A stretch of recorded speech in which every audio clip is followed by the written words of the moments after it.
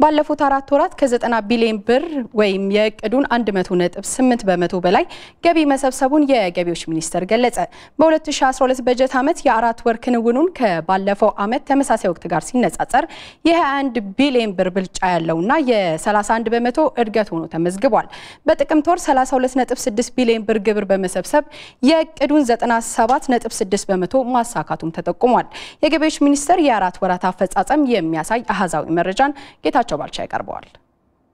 አመሰግናለሁኝ። እንግዲህ የገቢዎች ሚኒስቴር በ2012 በጀት ዓመት 248.3 ቢሊዮን ብር የገቢ እቅድ ይዞ ነው ወደ ስራ የገባው ማለት ነው።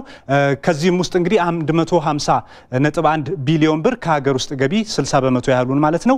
98.2 ቢሊዮን ብር ደግሞ ከጉምሩክ ዘርፍ 40 በመቶውን የዓመቱን እቅድ ማለት ነው ለመሰብሰብ እቅድ ይዞ ወደ ስራ የገባው ማለት ነው። ክንውኑን ስናይ እንግዲህ የአንደኛው ሩብ ዓመትን እንኳን ብናይ እቅዱ በአንደኛው ሩብ ዓመት 56 ቢሊዮን ብር ገቢ ለመሰብሰብ ነው። አፈጻጸሙ ደግሞ 57.3 ቢሊዮን ብር ነው። ይህም የእቅዱን 102 በመቶ ማሳካቱን የሚያሳይ ነው ማለት ነው። እንግዲህ የሩብ ዓመት አፈጻጸሙን ስናይ በ2012 በጀት ዓመት አንደኛው ሩብ ዓመት የሰበሰበው 57.3 ቢሊዮን ብር ገቢ ከባለፈው ዓመት አንደኛው ሩብ ዓመት ጋር ሲነጻጸር 12.9 ቢሊዮን ብር ብልጫ አለው። ይህም 29 በመቶ ብልጫ የሚያሳይ ነው ማለት ነው ገቢው። እንግዲህ የጥቅምት ወር ያለፈውን ወር አፈጻጸም ስናይ ደግሞ እቅዱ 33.4 ቢሊዮን ብር ገቢ ለመሰብሰብ ነበረ። ክንውኑ ደግሞ 32.6 ቢሊዮን ብር ያሳያል። ይህም የእቅዱን 97.7 በመቶ ማሳካቱን ነው የሚያሳየው። እንግዲህ በጥቅምት ወር የተሰበሰበው ገቢ ክብረ ወሰን ሊባል የሚችል ነው።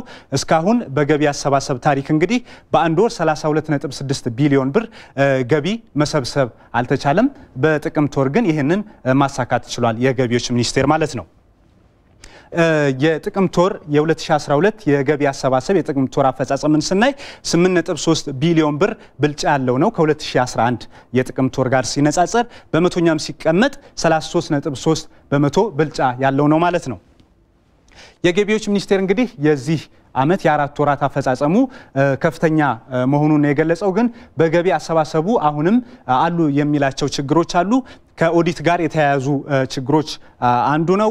የሕግ ተገዥነት ዝቅተኛ መሆን፣ የኦፕሬሽን በጀት ችግር በስራ ተግባር ላይ የሚያጋጥሙ የበጀት ችግሮች አሉ ስራውን ለማከናወን ይህም እንደ አንድ ችግር የሚነሳ ነው። የስልጠና ቦታና የ facility እጥረት ሌላኛው ነው። ከዚህ በተጨማሪ የሰው ኃይል እጥረትም የገቢዎች ሚኒስቴር በገቢ አሰባሰቡ የሚያጋጥሙት ተግዳሮቶች መሆናቸውን ነው የሚገልጸው።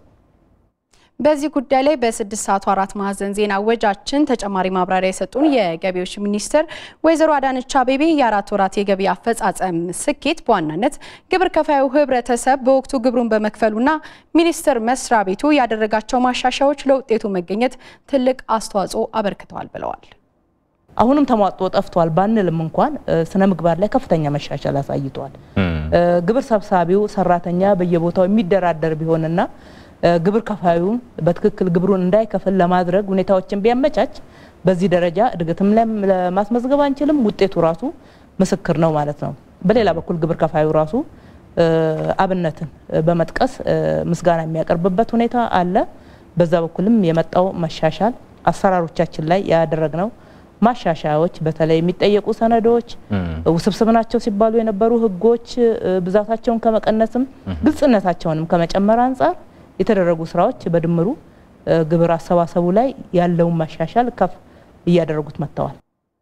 በ2012 በጀት ዓመት በአጠቃላይ ለመሰብሰብ ያቀደውን 248 ቢሊዮን ብር ገቢ ለማሳካት የተጀመሩ ማሻሻያዎችን በማስቀጠል ግንዛቤ የመፍጠር ስራዎች ተጠናክረው እንደሚሰሩ ገልጸው ግብር ከፋዩ ከአጭበርባሪዎች ራሱን እንዲጠብቅ ሚኒስቴር መስሪያ ቤቱም ሕግ የማስከበር ስራውን አጠናክሮ እንደሚሰራ የገቢዎች ሚኒስትር ወይዘሮ አዳነች አቤቤ ተናግረዋል። በህቡ ኢኮኖሚ ውስጥ የሚንቀሳቀሱ የታክስ መሰረቱን ለማስፋት የምንሰራቸው ስራዎች አሉ። እሱም ያግዘናል። አሰራሮቻችን ደግሞ ከዚህ በላይ ለማሻሻል አቅደናል፣ እየሰራንበት ነው። ገና በዚህ ወር ብቻ ወደ e-payment ወይም ደግሞ e-tax የሚገቡ ግብር ከፋዮች የተለዩ አሉ። እስከሚቀጥለው ፊታችን ያለው ታህሳስ ድረስ ከአስር ሺህ ያላነሱ ግብር ከፋዮች በ e-payment ይገለገላሉ ወይም ደግሞ ወደ e-tax ይመጣሉ የሚል ነው። ይህንን ስናሳካው ለግብር ከፋዩ ግብርን ለመክፈል የሚያጠፋው ጊዜና ገንዘብ እየቀነሰ ይሄዳል። ግብር መክፈል ቀላል፣ ምቹ እየሆነ በሄደ ቁጥር የግብር አሰባሰቡን ያሻሽለዋል። የህግ ማስከበር ስራችንም ያው ዘመናዊ የሚያደርገዋል። የህግ ማስከበር ስራችንንም ያቃልለዋል። ከገቢዎች ሚኒስቴር ወይም ደግሞ ከጉምሩክ ኮሚሽን ነን የሚሉ የኢንቴሊጀንስ ሰራተኛንን ብለው ግብር ከፋዩ አካባቢ ሄደው የሚደራደሩ እንዳሉ እኛም ማናቃቸው የውሸት ባጅ ያሰሩ የያዝናቸው አሉ። ይሄንን በምንም አይነት እንዲህ አይነት አሰራር የለንም። እኛ ግብር ከፋዩ ማወቅ አለበት፣ ራሱንም መከላከል አለበት። እኛም በህግ ማስከበር በሚገባን ቦታ ላይ ደግሞ ተጠናክረን መስራት ያለብን ብለን የለየናቸው የህግ ማስከበር ስራዎች አሉ። እነኚህ ሁሉ አንድ ላይ ሲደመሩ የማስተማር ስራችን ወይም ደግሞ የታክስ ንቅናቄ ስራችን ተጠናክሮ የሚቀጥል ነው የሚሆነው። አንድ ላይ ያቀድነውን እቅድ ውጤታማ ሊያደርጉት ይችላሉ ብለን ነው የምናስበው። በተያዘው በጀት ሩብ ዓመት አንድ ነጥብ አራት ቢሊዮን ብር መሰብሰቡን የትግራይ ክልል ገቢዎች ባለስልጣን አስታወቀ። ባለስልጣኑ እንዳስታወቀው የሩብ ዓመቱ አፈጻጸም ከባለፈው በጀት ተመሳሳይ ወቅት ጋር ሲነጻጸር የ15 በመቶ ጭማሪ አሳይቷል። ባለፉት ወራት የተሰበሰበው ገቢም በበጀት ዓመቱ ይሰበሰባል ተብሎ የሚጠበቀውን 21 በመቶ ይሸፍናል። የትግራይ ክልል ገቢዎች ባለስልጣን ዋና ዳይሬክተር ወይዘሮ አሰፉ ሊላይ በ2011 በጀት ዓመት በተሰሩ ህብረተሰቡን ያሳተፉ የንቅናቄ መድረኮች አማካኝነት ባለስልጣኑ በሶስት ወራት ውስጥ ካቀደው 1.6 ቢሊዮን ብር 1.6 ቢሊዮን ብር ውስጥ 85 በመቶውን መሰብሰብ ችሏል ብለዋል። ይሁን እንጂ አሁንም ያለደረሰኝ ግብይት መፈጸም፣ ሀሰተኛ ደረሰኝና የሂሳብ መዝገብ ማጭበርበር እየተስተዋሉ ያሉ ችግሮች ናቸው ብለዋል።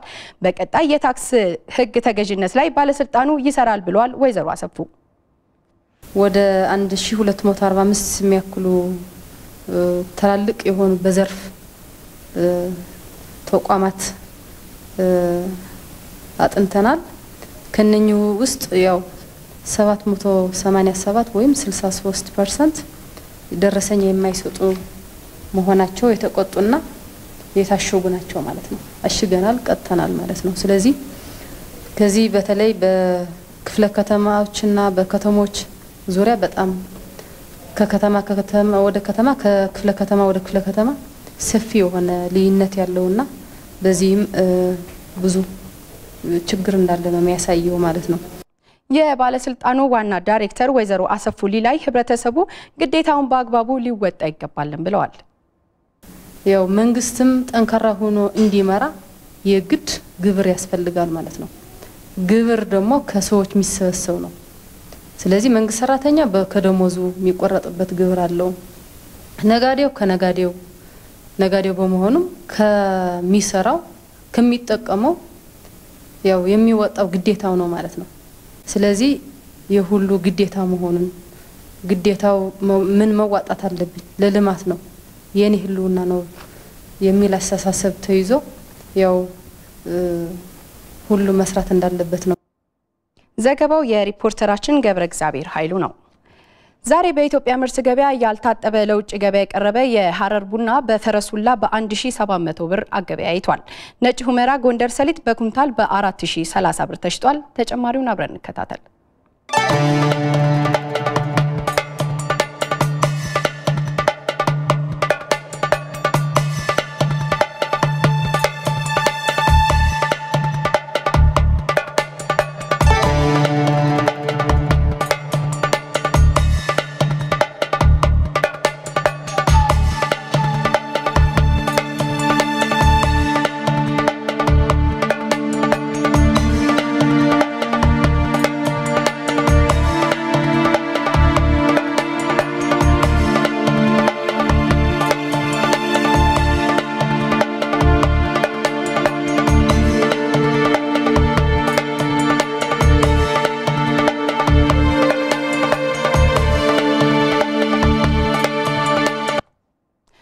ተመልካቾቻችን ለምሽት የያዝናቸው የቢዝነስ መረጃዎቻችን እነዚህን ይመስሉ